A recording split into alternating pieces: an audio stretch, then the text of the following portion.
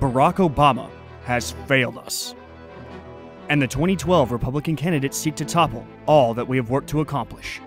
But as we occupiers know, there is only one type of candidate we can support this election season.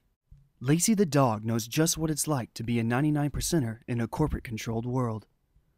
Lacey hates the corporations that have controlled our country for so long. Lacey also supports government mandated curriculum like gay history instead of basic things like reading or math. And while she's only six, in dog years, she's like a lot older.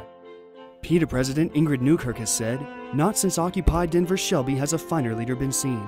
Also, she's kind of hot.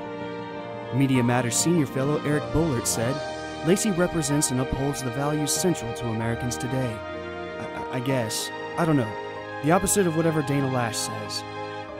Ingrid Newkirk later continued, Seriously, somebody get me a phone number. I really want to do that doggy style if you know what I'm saying.